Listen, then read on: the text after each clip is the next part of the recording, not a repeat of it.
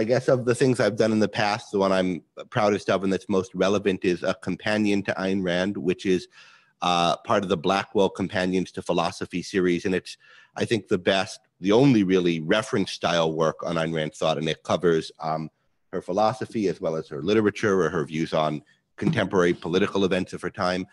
Uh, and um, I think is a, a, real step forward in scholarship of her. So uh, the book's pretty expensive. You can get it semi-affordably on Kindle.